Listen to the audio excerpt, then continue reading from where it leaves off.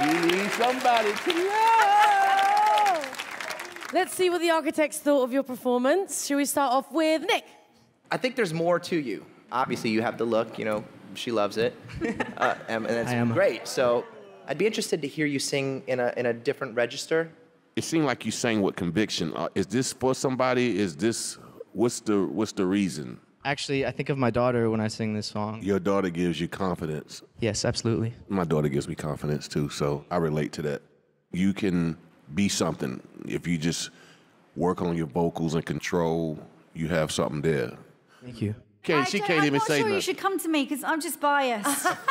I mean, if I quickly get a selfie. Yeah, second. you Yeah, might- might- gotta- gotta- What? Yeah, we'll do it together. Come on, hold on, hold on, hold on. Lucky Okay. guy. No, right? Are we ready? Okay.